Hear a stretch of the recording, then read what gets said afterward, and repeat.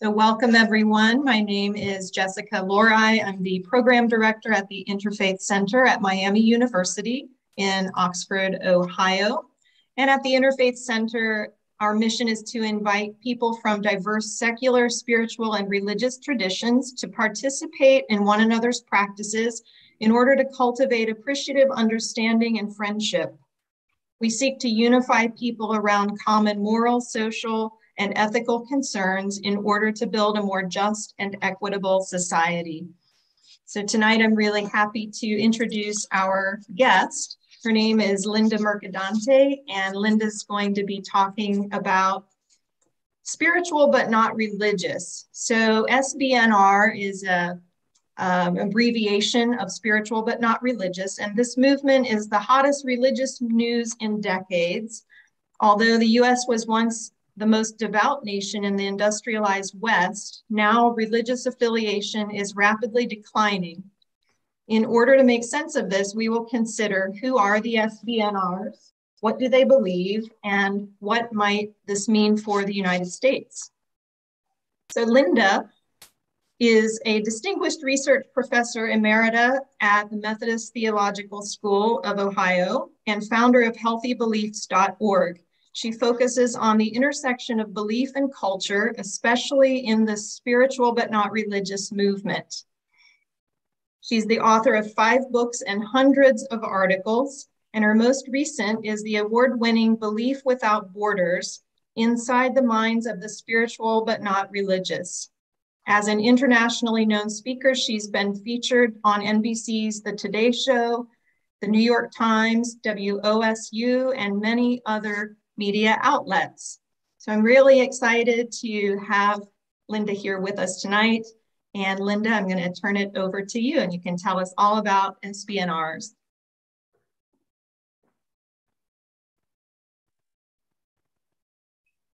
Oh, you are muted, Linda. Um, I'm not getting the, I'm only getting my share screen right now. Can you take that off and just have it, you know, the, uh, all the faces? Can you hear me? Uh, we can hear, we, we have it on speaker view. So when you're speaking, your image is the one that's visible, even though it may not appear that way to you. So, okay. yeah. Well, to me, I have my slides, and eventually, when I'm done with them, we I need to get out of shared screen. Sorry to start with business. That's okay. Okay. Well, anyway, thank you very much for the invitation. Um, this is my specialty that I'm very interested in. And um, I want to start with uh, us knowing a little bit about the country because unless we know where we've been, it won't be surprising where we're going. And it is surprising where we're going. So I just want to clarify the U.S. situation. Um, and in fact, America is still the most devout uh, nation of, uh, of the other in, industrialized Western countries, which, given the topic here, you would think, no, no, that's gone. But in fact, 36% of Americans say they get a great deal of satisfaction and meaning and fulfillment out of their religious practice. And for actually for blacks and Hispanics, it's very high. It's about 75%. So you might think, well, then what's the big problem? I wanted to, to uh, remind you, for starters, why people get so much satisfaction out of their uh, beliefs. there. Okay, so th- these are the top reasons that U.S. adults give for attending religious services. You can see here, I'll use my cursor here. Um, you can see that to become closer to God is very high on their list. so um, so their children will have a moral foundation to make themselves a better person and for comfort in times of sorrow and trouble so linda just yes. i'm so sorry to interrupt you we cannot see your shared screen oh can you um sorry about that and that's all and jessica that's all i see how can we back out of that and then go back and um go back and uh, unshare it and then share it. Can we do that? Because my computer is not cooperating here. Sorry about that. See, I just see my slides. That's all I see. Okay. Um, we don't have them showing at all. At the very bottom of your screen, do you see a green button that says share screen? No, because um, it's it's not showing me any Zoom. It's uh, I'm sorry to take up the business, but instead of Zoom, I'm getting um, I'm getting just uh, face uh, PowerPoint is all I'm getting. I think just uh, you can uh, minimize the your PowerPoint and Okay. All yeah, right. and then you will be able to see the Zoom, and there will, will be the option to share a screen, so you can share. Okay. Minimize. All right. I did that already. Oh, I'm sorry. That's okay. Oh dear. I I can't see. Uh, all my Zoom controls are are gone. Sorry, except for the video of myself. I'm really sorry about this. That's okay. Uh, I've had I've had similar issues in the past, and sometimes it's a need to update to the latest version of Zoom. Um, it could be that. Uh, if you'd like, you can feel free to read them to us. yeah. Well, I also I went out of it. Um, sorry about that. Okay. Uh, all right. Well, I guess I'll do that. But you can see me, right? Yes. Okay. All right. So anyway, um, I I was checking on why people attend services, and they do it to become closer to God, to give their children a moral foundation, and to make themselves a better person. And then, of course, comfort in times of sorrow and trouble. So that sounds good. That sounds like America. It sounds like um, shouldn't everybody be there? And in the 50s, 60s, and early 70s, that that is where the majority of the population were. Not a particular religion, but religion, organized religion. But now the numbers are declining, and I have a chart here that you would probably be very interested in if you could see it. but at any rate, in 1940 and pr- previous, about uh, over 70%, more like, I think in the 30s it was even higher. But anyway, it was about 73% were church members. So maybe more went, but they were members. By 2000, by 2020, it had dropped to 47%. So from 73 to 47 is a huge drop. And it's for statistical purposes, it's not that long of a period. So that is a huge decline. Um, now I, I wanted to show you a slide about America's changing religious landscape. And it, if I could show it to you, you would see that in 1970, about um, a huge percentage of Americans were or, in organized religion. And if you could see this line, it drops like this. So you can see that it goes down, down, down, and then the line for no religion starts out very low and it goes higher and higher and higher, which is unexpected actually. So America's changing drastically. It's just that um, people that are still sitting in the pews probably notice less and less people around them. But a lot of people that um, are not regular churchgoers or religion participants, they may not notice it. But it's very dramatic and statistically speaking, a first time thing for us in America. So um, um, the majority now are not affiliated. This is this is new. And churches are kind of panicking. I have a, a, a billboard up here that says, um, and it's put out by a church, and it says, not religious, neither are we, which is crazy because it's a church. but churches are going out of their way to try to find things they can do to attract people that are unaffiliated or that call themselves spiritual but not religious. But I can tell you from experience, it's not working that well. so churches are kind of panicking, really. They're trying lots of things, um, but they're not, um, unfortunately, working. Another slide I have is the percentage of each generation that is religious unaffiliated, uh, that are religiously unaffiliated. Now, um, eh, I wish I could draw draw this for you, but anyway, the millennials are they had the chart is from about 1990 to 2018, and the millennials start pretty unaffiliated, but their unaffiliation rises, which is amazing. That for pretty unaffiliated people, they got even more unaffiliated. As far as Gen X, they also dropped. Uh, boomers dropped. The silent generation, that's the 1950s people.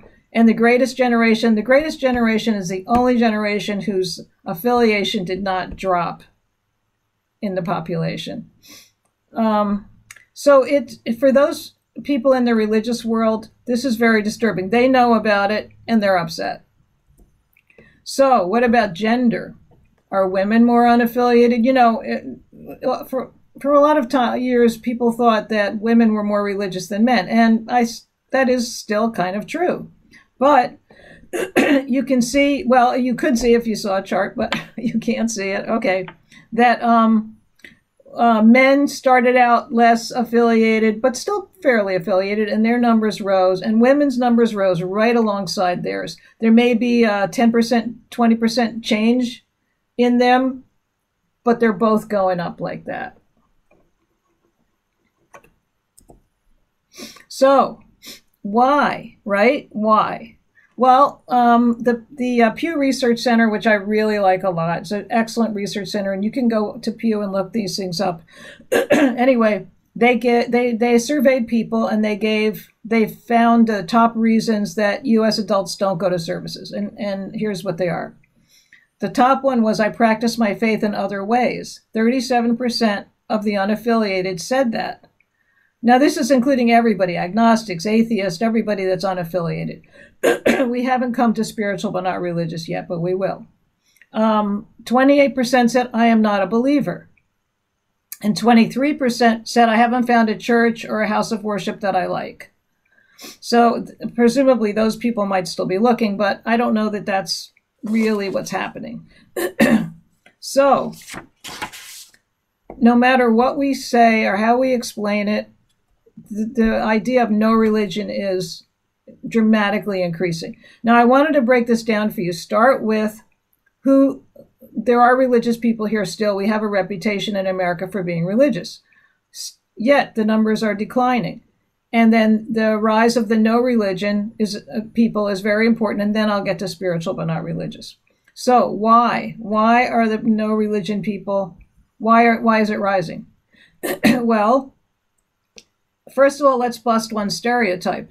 It's not from people that are just easily manipulated, joining a movement, following a leader, going to a cult, uh, even a political cult. That's not the main body of people that are unaffiliated.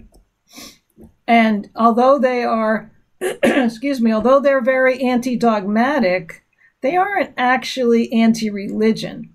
Many people see religion as a lifestyle choice, like you know, playing soccer or something, and it's, it's fine if you want to do it. That kind of attitude. Um, the the increasing cultural and religious diversity we have in America is another reason why it seems like we have so many options. Why stick with one thing?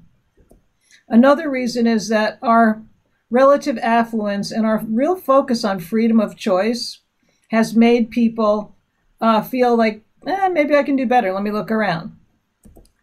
And then all of this is mixed into a context of democracy, pluralism, and consumer capitalism. And believe it or not, um, the unaffiliated and especially the spiritual but not religious are a real market opportunity for a lot of companies. Um, all you have to do is go to Target, go into the uh, sports equipment section, and you'll see yoga mats that are clearly marketed to a certain population, and that's Target. You know, go to a yoga studio and they'll be even more higher end and fancier and way more expensive. So, what are other forces that are uh, encouraging people to swim with the tide, to go with the, get on the train, the train of no religion? Well, uh, as you well know, there's political and cultural polarization right now. And, you know, a lot of people blame uh, evangelical Christianity for that. And so they're like, I'm not going to be part of that if that's what's happening, if that's what they're doing. That's a, a segment of our population. There's also the hyper focus on personal freedom and individualism. And Jessica and I were talking about that last week when we had our conversation. And even though she and I have different um, approaches, we agreed that this is something in the US that's really almost becoming a problem. You know, hyper focus on personal freedom and individualism. And that shows up, unfortunately, in uh, the, the vaccine controversy. Um, people want to claim their own authority now. there's a lot of anti-traditional kind of thinking now like if it's tradition it can't be right it must be repressive so people want to use their own authority and then finally and um, i know you're well aware of this everybody we're in a culture of skepticism doubt and anxiety and that uh, at one point that would have uh, bred religious affiliation but for some reason now it's doing the complete opposite so, um, just as a, a street cred kind of thing, I want you to know that I myself was once a spiritual but not religious person, and I wrote a book about it. It's called Bloomfield Avenue A Jewish Catholic Jersey Girl's Spiritual Journey. I actually have a poster here if I don't knock down all my other things.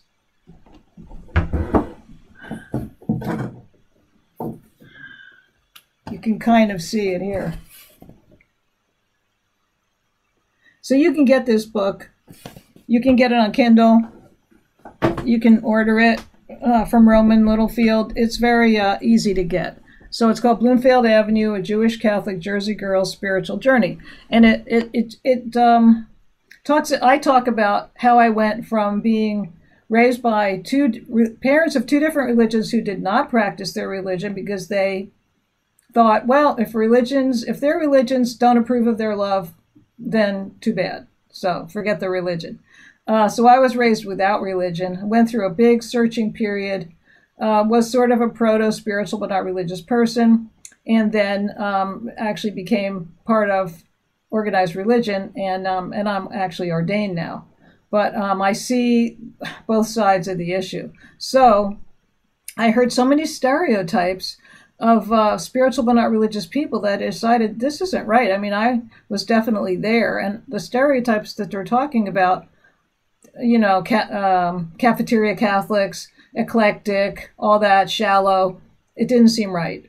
So I decided in my research to interview and to talk to people that were SBNRs so that they would have their own voices to speak.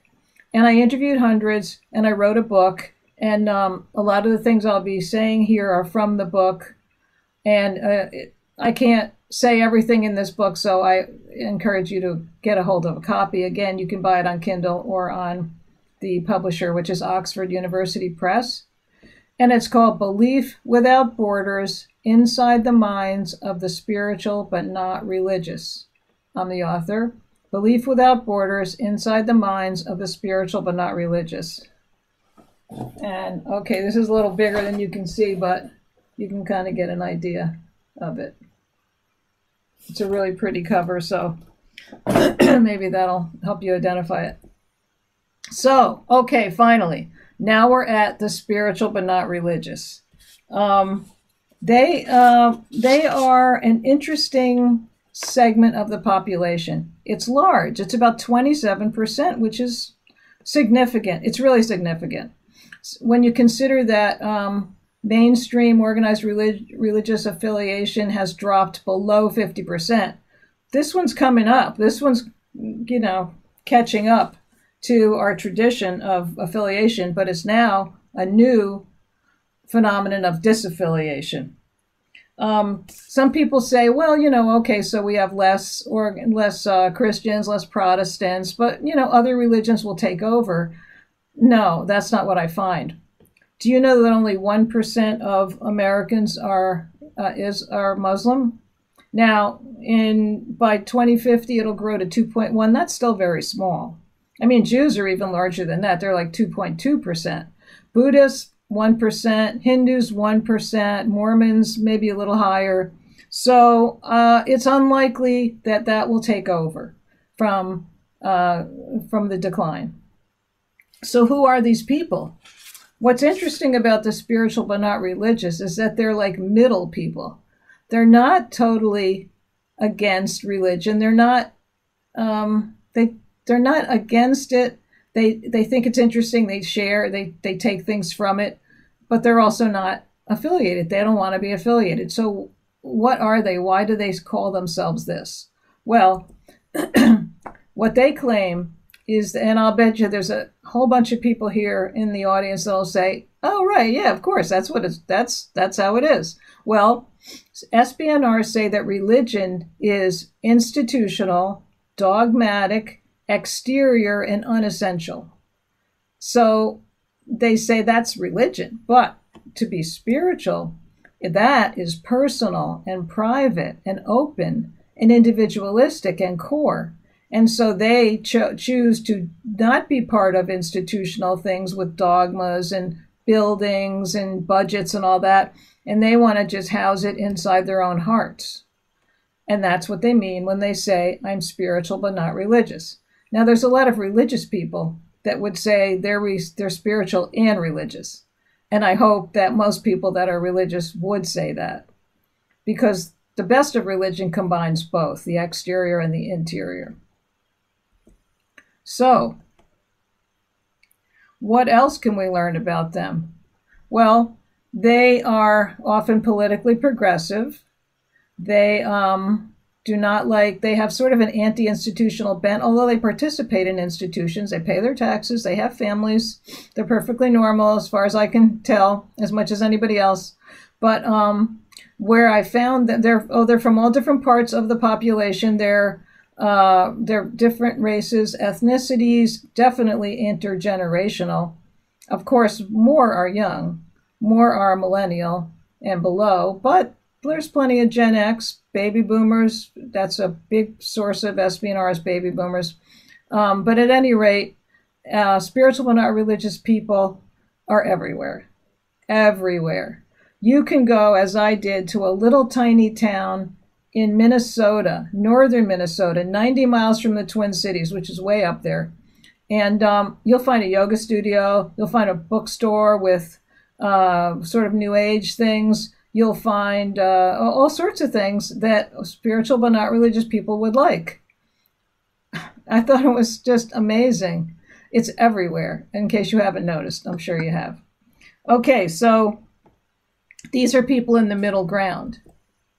Uh, the thing that's in, the most interesting about them that I found is not what they believe, although that was interesting. It's what they agree on to not believe. And a lot of the things they agree on to not believe are things they identify with conservative Christianity. Now, if there's any more liberal or progressive uh, Christians in the audience, um, of course, you'll uh, you'll say, "Wait a minute, I don't go with all that either." But SBNRs, especially those who either came out of evangelicalism or never had any contact with organized with Christianity, feel that these are things they, they decide to never believe in. One of them is exclusivism, which means my way or the highway. You know, you go my way or you're going to hell. They, they don't like that. They don't like the idea that, that there's absolute truth.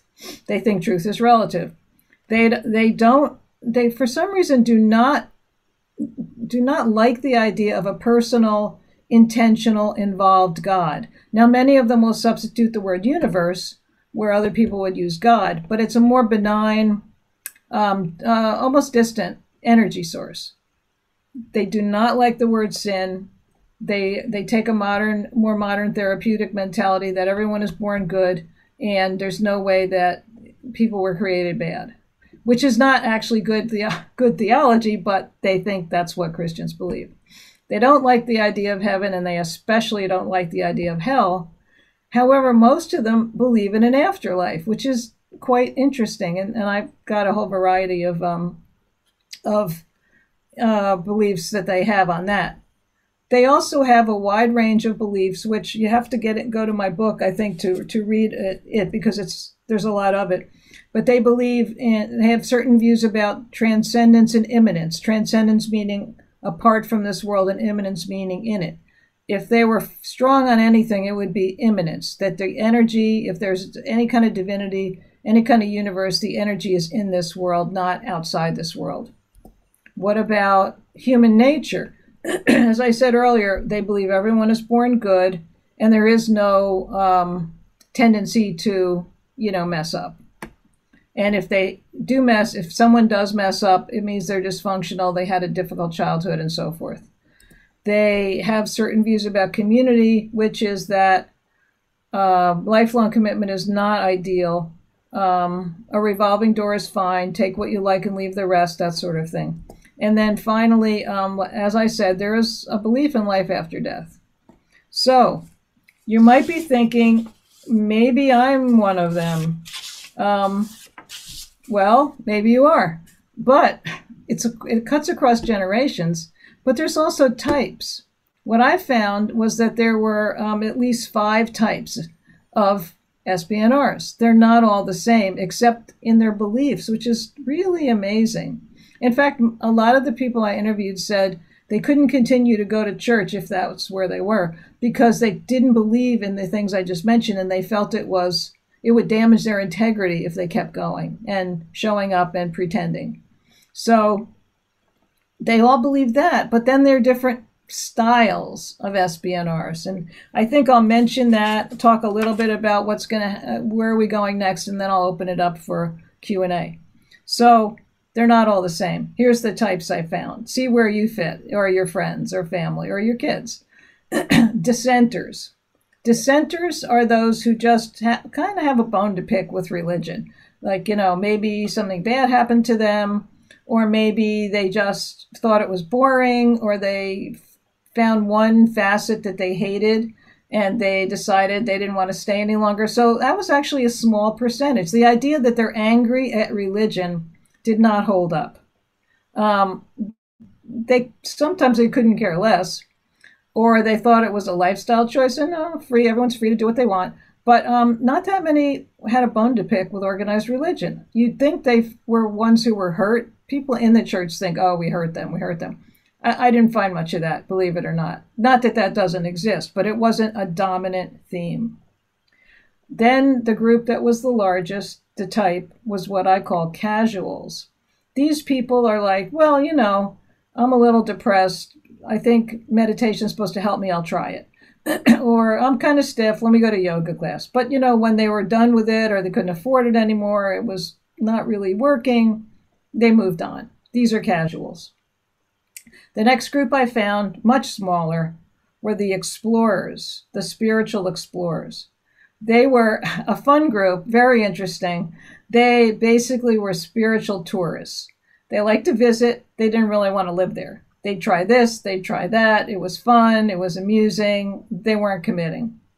Um, the fourth group are people I called seekers, and that was a pretty small group. That's a group that is, in fact, looking for a home in organized religion and just shopping until they found what they wanted. That was a pretty small group. And the smallest group were those I called immigrants. Those are people who, in fact, try to affiliate with a religion different from what they ever had before. And sometimes they found it really hard. I mean, to orient to some new faith, maybe it was a little, it seemed a little exotic to them, or it was just so many new habits to start. I don't mean you went from being a Methodist to a Presbyterian. I meant you you went from being like uh, a sort of lukewarm Methodist to being a Buddhist and really trying to live the Buddhist way. One woman I interviewed said that she felt guilty because she still had an understanding of a God who intervened, and she said she was told at uh, her her Buddhist uh, sangha that that wasn't okay. That wasn't a good belief. It was immature. It was childish, and she had to get rid of it. And she felt terrible because she said she wanted it to be true. So she was an immigrant, but she was having a hard time. So let me just wrap up here and then we'll take questions. What does this mean for America? Where are we going? Um, it's going to be a rough going because, as we can see in the news, you know, last few months or year, people, more and more people are disagreeing with each other at least at one time, America had kind of a what they called a civil religion, where people go, okay, you should be honest, you should do this, you should do that, you know. And although they weren't all coming from a religious place, people kind of agreed on these things. That is falling away. Um, diversity is ruling. Freedom of choice is ruling. People want to do things their own way, and um, that means there's going to be more disagreement. Another problem or change is that, uh, believe it or not, religions have accomplished a lot of good things social services, food kitchens, uh, clothing drives, all sorts of things. Religions don't just try to convert and get you, you know, to give money. They actually perform services for the world because that's the core of many, many religions is giving. So without with them dwindling, we'll have less of that. Now, is America going to let government do it all? That seems to be, go rub a lot of Americans the wrong way. So if churches aren't going to do it because they can't because they're too small, and government is going to be prevented from picking up the slack, a lot of people are going to continue to fall through the cracks. Um, and there's just a lot of social capital that organ that organized groups provide. SBNRs tend to be somewhat suspicious of institutions, uh, not really big on committing to them. They're more they they're they more believe in issues than institutions, which you might say, so well, that's fine, yeah, what, whatever. But actually, history has shown that institutions can accomplish a lot more than individuals.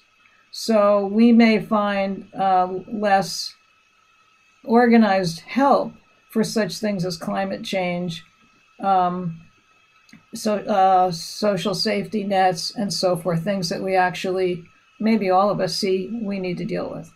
So um, there are good things about the spiritual but not religious movement. It's freed up a lot of people. It's gotten people out from under sometimes the yoke that they really didn't want to carry. It's given people a sense that they can do whatever they want, and that's good. But it's also possibly going to be quite um, an adjustment for society because America has always had strong and large organized religious groups. So I'm really sorry about, the slides and the, you know, all that. But um, hopefully I've piqued your imagination and your thoughts, and uh, this will give you a whole lot to think about when you go back um, to your own practices. Okay, Jessica. okay, thank you so much for wonderful information. And we do have some questions in the chat here. Um, let's see, where should we start? We'll start with the first one as they came in. Uh, this question I you may have answered. Um, Patrick says, I self-identify as both spiritual and religious. However, my religious self does not depend on going to church. Do you see this trend of SBNR as a problem in society? And I, I think you've touched on that Mm-hmm. But if, if there's anything else that you would like to ask Patrick, feel free to unmute yourself. Oh. And clarify if you want to. You better unmute me because I'm I'm losing my I lost my Zoom uh, controls. Okay, you're you're unmuted, so you're okay. good. good. Yeah. Okay. well, let me respond very briefly to that. Uh, they say often that people that there are phases in, in unaffiliation. One is believing without belonging, which is, I think, what Patrick was saying. Um, statistics show that that is a phase on the way to not believing or belonging. So it is very hard to sustain a faith without a community. And when people never align with the community, they their faith tends to dwindle. It's kind of like running the car on fumes. And you need to be reminded, you need to see role models, you need to see other people, you need to be given opportunities to do things as a group. And so I think that is a large phase of people that are practicing without showing up somewhere. Of course, it's the pandemic, but you know, uh, without being part of an organized group. And I think that um, generally people their faith declines, but it could take a long time. Yeah, um, thank you, Linda.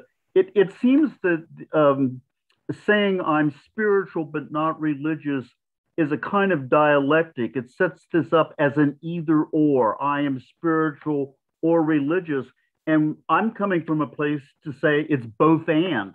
I yeah. am spiritual and I am religious, and as I indicated, and, and I do sometimes go to church, but it's not something that I feel I have to do um, to get to to enrich my my spirituality. I just I just wanted to note that difference. There's a, there's a there are two different models. One is an either or, and the other is a both and. And I don't often hear people say yes, I am spiritual and religious. Did maybe you, find- you missed, maybe you missed that part, but I did say that. Um, maybe you were you uh, weren't there, weren't here, but I said that most religious people would say they are spiritual, okay. and I hope that religious people would say that because um, what we call spiritual now used to be called piety, and it was like as Wesley said, you, you know, your heart strangely warmed, and so it really was meant to be the, the core of Christianity, at least organized religion. Thank you. Okay, we have another question here. How are spiritual, not religious, finding spiritual community? Good question. I did ask them about community, and what I found was that um, most people wouldn't mind finding a community, but they often said, I said, well, okay, good, good. What would it look like? And they said, well, everyone would be able to hold their own beliefs without being judged. And I said, Well, okay. And have you ever seen a community like that?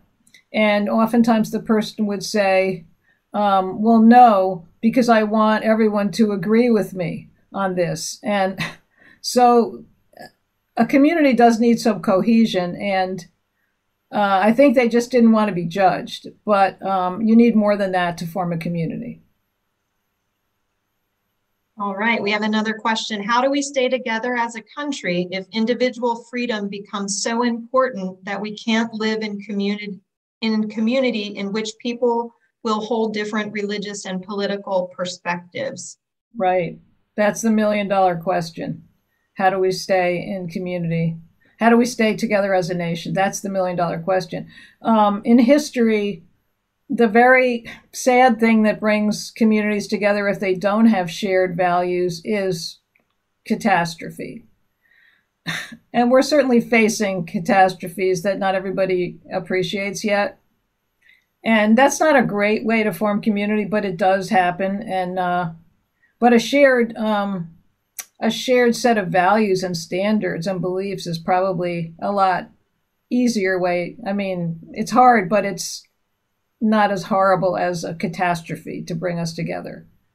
Those seem to be the options right now, and I think uh, we've overdone the freedom stuff. I mean, everyone freedom is like an American watchword, okay, and everyone wants freedom, everyone wants choice, uh, but you can take it too far.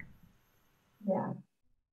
Okay, we have another question, um, and you answered this in. I think you answered this in a sort of a general way, but there's a little bit more specific question to what extent did the Catholic Church's scandals play a role in the migration to SBNR? Yeah, it played some role. Um, people occasionally mentioned it, and I did have a, have a lot of former Catholics, and I hate this word, but they call themselves recovering Catholics. I I think that's unfortunate, but at any rate, for some, yes, that was very important. They lost their trust, but the thing is, lack of trust, cynicism, skepticism, that's everywhere. So people don't trust, I mean, that's common not to trust any institution now. So the Catholics were just one more in the line of things you're not going to trust. but it does, um, it does make people want to uh, turn away from organized religion. But I always say, well, you know, hypocrisy, you know, there's, it's everywhere. It's human. So who knows if we uncovered, if we took, picked up all the rocks, how many bugs and things we'd find underneath all of them. I think that's the human condition. Um, and so is trying to be community with each other. That's part of the human condition too. Yeah. Um, I do have a question also about as a teacher of the spiritual tradition that I'm a part of, I notice that a lot of the folks who come to this tradition, uh, which happens to be yoga, um, they are identifying as SBNRs. And I see a lot of students who come and they kind of bounce around from teacher to teacher, from lineage to lineage. Um, they may, you know, they they may bounce around quite a bit. They may be gone for a while and then they come back and they they identify as spiritual. And as a teacher, um, there's a, a, necessity to remain on a particular path in order to get to the depth of it that actually is spiritual. So just having a yoga mat and throwing it down on your floor and doing postures on it isn't exactly a spiritual experience all the time for every person. And so you and I had talked about this last week that any time that somebody is kind of picking and sampling, well, I like this about Buddhism, so I'm going to bring that in. And I like this about Christianity, so I'm going to hold on to that piece of my, you know, what I grew up with. And I love this about yoga, so I'm going to bring all these things and kind of create my own spirituality. And my question is how all of these paths are a path that takes you from one place into the depth of the actual theology and, and, and in order to learn it. So if someone is sampling, are they getting to the depth of anything? Or are they just kind of sampling and um, you know, floating around the fringes without getting into the deep good stuff that that happens if you stick with a path long enough, no matter what that path is. Well, as we spoke before, I totally agree with you. I couldn't agree with you more. Um, and a lot of uh, religions, um, you get sort of pop theology and pop ideas. And if you leave it because of that, I mean, have you really dug a deep enough well to find out what's in that particular faith? Most people don't. I mean, it's hard work, it takes time, it takes effort. It's, but it's very rich and valuable. And so um, it's better, you know, the saying is it's better to dig one well deep than just look on the surface for water. You probably won't find it uh, or as rich of a vein of water uh, unless you go deep. So even let's say, I mean, I'm very, very familiar with Christianity, and people would say, well, Christianity is all about sin and anger and doom and gloom and a punishing God and all that. And I'm like, well, actually, I've gone extremely deep into it, and that's not what I find at all. So it's kind of uh, upsetting when people want to write off a tradition that they barely explored. But if you barely explore a whole bunch of things, I think you're going to end up confused, exhausted, and probably end up not really committing to anything. So I don't, you know, what is it that will grab somebody and and help them go deep? Uh, it's it could be a wonderful teacher, it could be something they read. I some people never will do that. You you just don't know.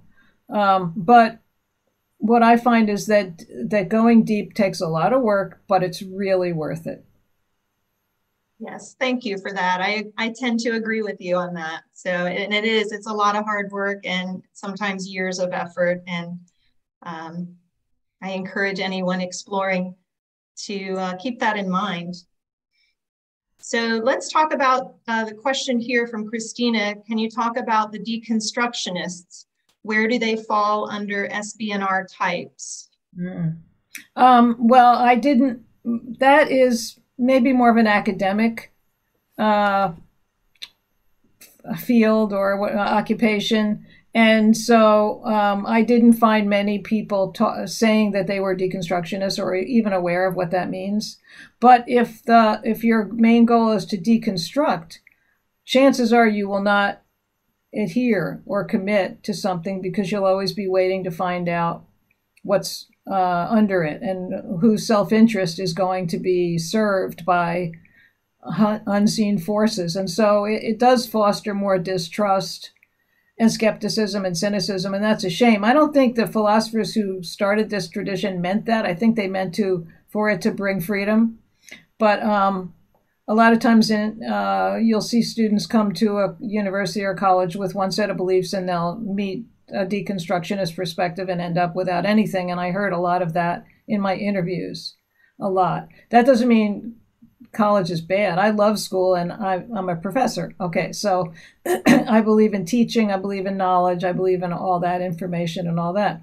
But um, if, if a person isn't going to go deep and get really rooted in something, they'll be easily uh, shaken up.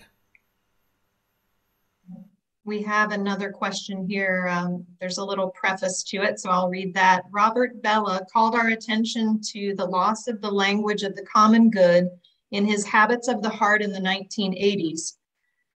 Are not we moving away from all fraternal organizations and service groups? such as Masonic lodges, Lions Club, American Legion, etc. So maybe SBNR is just part of a larger move away from community organizations into a growing individualism. And, and it's phrased as a question. Uh, I, I totally agree. Um, and then another scholar wrote a book called Bowling Alone. Isn't that a great title? Bowling Alone? because you know bowling was usually taking place in leagues and very few people unless they were practicing for the league would go to the bowling alley and bowl, bowl by themselves so that's just a symbol of the decline of uh, organizations pta all sorts of things it's hard to get people to come out for things and the pandemic has made it worse really but it was already a, a problem before the pandemic um, and i think that is going to be difficult for the U.S. I think those groups were like glue. It's it's called social capital. It's the glue that would hold people together, and without the glue, we don't hold together very well. Uh, Jonas has a question. Do you think that secular groups like Project Bread are helping to meet social needs in ways that make up for the decreasing capacity for religious institutions to do that? Um, I do think that, that those kind of groups, I know about bread, those kind of, kind of groups are excellent. The Harmony Project, things like that. They can um, provide some some of the substance that people got from organized religion. CrossFit. Some people just uh, latch onto these things with almost a religious fervor, but that's not common. and so, uh, and AA for that's another one that people really stick to. Um, I think they do make up for it to a degree. But what's con- what's uh, an energy of religion that isn't there in those other groups is a common uh, source, a common divine source. And religions have it, no matter what they call it, even if they call it non being or nothingness. I mean, there is some kind of energy that everyone tries to partake of. Um, I don't think those other groups, the socially active groups, social activist groups, are wonderful, and I'm part of many of them. I just don't think they have the holding power on people's hearts that they that other that faiths do. Yeah, they seem to not have um, a. They don't present a worldview. Yeah.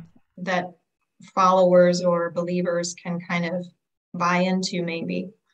Yeah, not only that, but um, sometimes the challenges are ta- they take on are so huge and so important that it's easy to get burned out when you don't see major systemic change.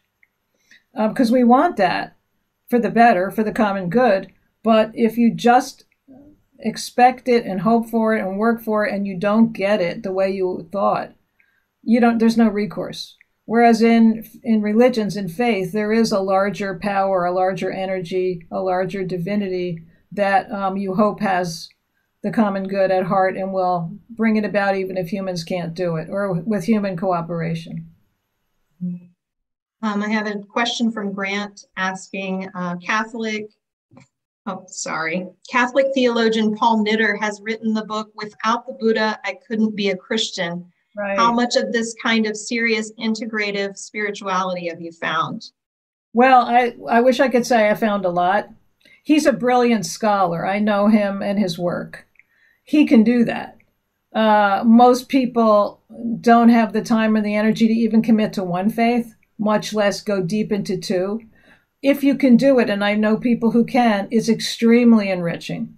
And it brings together forces like of East and West that we often have trouble reconciling with each other. But um, the average person is going to have trouble doing that. Um, I mean, I was raised, my mother was Jewish, my father was an Italian Catholic immigrant, my mother was first generation immigrant. And um, did I become a, a two religion person? No, it was, I had to commit to one thing in order to grow. Now, I, I bring in elements of these other things, but um, it's hard to be two things at the same time. We're so we're so limited. Humans are limited, but some people can do it, like Knitter, and that's brilliant. Uh, Bill says, uh, so to me, Christianity is probably an early victim of the cancel culture before it became a buzzword. Hmm. What role do you think the government slash courts have played in the decline of organized religion? Well, that's a really big question. Um, we the country is dedicated to the separation of church and state. That's a strength. That's a good thing. When religion tries to overstep the bounds of American constit, you know, the American Constitution, people get annoyed because they think religion doesn't have the right to impose itself on other people that don't agree or that are of different faiths. So um, I think the courts have been trying to preserve the separation of church and state as they should, and I don't think that they've hampered the uh, practice of faith. Uh, the Supreme Court, I think, is is um, I hate to say this, but meddling a little more than it needed to. I think people were happier when uh, religion tried to stay out of politics. And now you could have your religion and you didn't have to declare your politics at the same time. That, I think, has become a big mistake. I have a question here. Why don't more SBNRs ultimately join liberal churches such as Unitarian Universalism right. or ethical culture, which right. seem to allow for a range of beliefs while still forming a unified community? Right. Excellent question. A few years ago, I was invited by the, uh, the, the leadership of the Unitarian Universalist group to speak to, to them before they had their general conference. This was when it was in Portland. And because they said, the SBNRs, they should be our people. And I said, You're right. They should be your people. You're perfect for them. But they don't want any, they don't want to be brought into an organized group. And to, to them, you look like a church. you got pews, you got, you know, pulpit, all that. And they don't want any part of that. So I'm really sorry because I think they'd be very happy with you. Uh, and I, I've taught many Unitarians. I love them. And, uh, you know, I, I agree with the UUs, but um, that's, it's missing the boat of what uh, SBNRs are really trying to, uh, to profess, which is they're not they're not interested in aligning with anything that's an organized religion, even if its theology is way more open. Okay. Do you think political organizations get deeper into spirituality of some sort than religious organizations do, as they are having more participants than religious organizations do? They are definitely getting in, they are definitely having a lot of participants and they're um, you know organizing people but i don't think they go into spirituality. I think they go into ideology and ideology can unify people but a lot of times an ideology has to have an enemy and i don't think that's a good um, that's a good faith stance is like let's focus on the enemy and you know doing the enemy in or something. Um, organized religion at its at its heart should be more about love and community and um, forgiveness and finding common commonalities without having to completely agree on everything. Political groups, I think, expect a lot of uh, discipline and agreement. And if you step out of line, you're probably not going to do well with that group. So I don't think they're providing spirituality. I really don't. Spirituality is like like a love affair it's a it's a of the heart. Uh, and and the heart wants love. So i don't see political ideology giving you that. Okay. Jeanette says could you address the difficulty regarding moving from conservative christianity's certainty to the struggle of not knowing? Good question. Yes it's uh it's an important transition. I know a lot of people that are in that transition. Certainty feels good, especially in a very uncertain world. But you can have a type of certainty even when you don't have to have absolute certainty about everything. And I don't think life really gives you absolute certainty, not this life anyway. So um, it's it is more of a struggle. But the thing is, when you have absolute certainty, you're pretty much um, walling yourself in into a very small space. And everybody on the outside of that space is either a bad person, a heretic, or a challenger. And uh, that's a hard way to live. It sounds like it'd be easier, but it's sort of, it's a little more immature. I hope people don't take offense at that, but I think a, a mature adult knows that we can't know everything. Right. Uh, this question is, uh, are there specific writers or influencers who are associated with SBNR? Mm. Yeah, tons. Uh, tons and tons. Uh, I can't even start naming them, but there, there's a. It'll be one pop, one popular book after another that people will say, "Oh, have you read this?" and then they'll read it, and so there is a, a whole trend of new ideas. New, it's almost like you have to generate new ideas to hold that audience and uh, it is an audience and people are marketing to it. Just you know appreciate that we are in a consumer culture. So um, you you need to go online and, and, because there's just so many popular books that people just transition through. Um, i don't know. It's just oprah. You know go to oprah. She'll give you the books. Thanks for that. That's a good answer. That's a really good answer. I like it um, I had a question uh, about your work and when you started in this work. Was it just purely research on your part out of your own curiosity, or were you um, diving in deep into this topic as a way to help people? Well, as a as a minister, I do I always want to help people. That's my first and top goal. That's why I became a professor because it's not the most lucrative thing you could do, nor is it the most popular thing to teach theology. People like walk away and they, you know, you meet them at a party and you tell them you teach theology and they're like, you know, um, oh wait a minute, I need to get something to eat. I'll be back. Then they're not. So it, it's not a popular thing to do. Um, but I so I, I took that burden on six years to get a PhD, you know, a master's degree, all that stuff. It took forever. 13 years to get educated to do it. I did it because I wanted to help people. Because I went through my spiritual but not religious phase. I went through an atheist. I was an atheist for a while. I was spiritual but not religious for a long time. And when I finally just made the decision to commit to the thing that seemed the most reasonable to me, a lot of things it a lot of things fell into place. I felt like a whole person, and I, before I didn't know was I Jewish, was I Christian, was I nothing, what was I?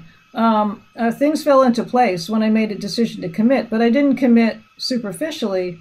I committed to go in deep, and so um, I was just hoping to help other people find something like that too. And if my students said they weren't unha- they were unhappy because, for instance, let's say they were United Methodists but they were gay and they couldn't come out and all that, I'd say change go become a UU, become a UC, United Church of Christ. There's plenty of places that would accept you.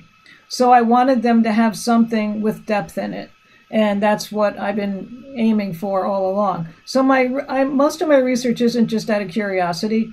I researched spiritual but not religious because I was one, and I thought they were being uh, misrepresented in the popular press and even in the in the church. I thought they were just not being given a hearing. So that's why I did it.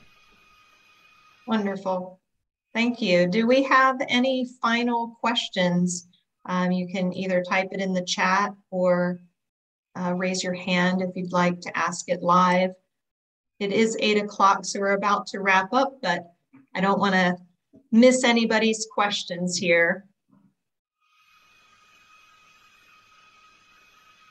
Um, maybe you could mention that I have a website, so if people want to read my blogs or they want to um, learn more, they could go to www.healthybeliefs.org. I have a Facebook page for Healthy Beliefs. Uh, I have a Twitter account. Uh, I use LinkedIn all the time, and I'm always posting new articles about this movement. That's my main goal is just education, just sheer education and helping people make some decisions in their own lives. And I also do. Uh, I'm a, guest lecturer. I preach. I uh, take. I teach courses. So I'm available if you want to uh, reach out to me. And my email is Linda Mercadante at healthybeliefs.org, and I'll be happy to take additional comments at that uh, at, at that email site or on my website. Great. Thank you so much. And thank you to everyone who is here. Um, the Interfaith Center is offering programs almost every week now, sometimes two a week. And the next program we have is October 19th. It's called Living with Grief from COVID 19. So we'll be looking at societal grief as well as individual grief that comes from both death losses from COVID and non death losses from COVID. And then on November 2nd, we have a program called Green Burial. So we're going to look into environmentally friendly burial options. And on November 9th, we have values driven marketing with Kylie Slavic. So we'll be looking at um, conscious ways to market your business or your personal service for those people who don't like marketing. So um, I hope to see you all then. Thank you again so much for being here and have a wonderful night.